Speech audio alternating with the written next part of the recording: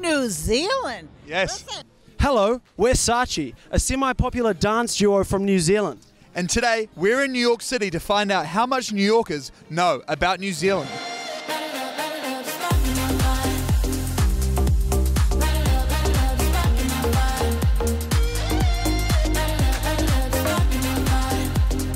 What do you think this thing is called? Fruit cake. A New Zealand dessert. Bullshit fattening cake for fat people. Some kind of dessert. Yeah, I wouldn't eat that because it go right to my hips, and I can't afford it. It's called a pavlova. Pavlova? Yeah. Okay, gotcha, gotcha. It's like a dessert. Gotcha. What is this animal? It's a thing. What do you think this animal is called? Um, a chicken. It almost looks like a little chicken. Who is this woman? Prime Minister of where? New Zealand. That is probably the Prime Minister of New Zealand. Is she a Trump fan? Because Trump's gonna build a wall, that wall's gonna protect us all. Sounds like an idea to me.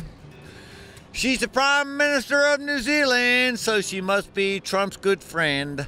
Sound like a good idea. All right, what else we got? Yeah. All right. Who are these guys and what sport do they play?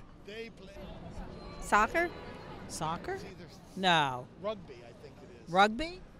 What is the significance of this card in New Zealand? Um, you drive on a different side of the road. It's a Toyota car that happens to be parked in New Zealand. It's bigger than the rest of the cars. It's actually Nick's first car, a 1991 Toyota Corolla. My first car, a Toyota Corolla 1991.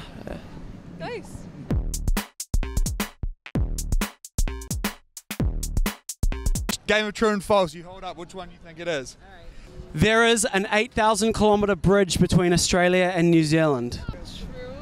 That is true. The first president of the United States was actually born in New Zealand. It is correct. George Washington was born in New Zealand. The drinking age of New Zealand is 12 years old. I go with true. So, can we please get two hot dogs?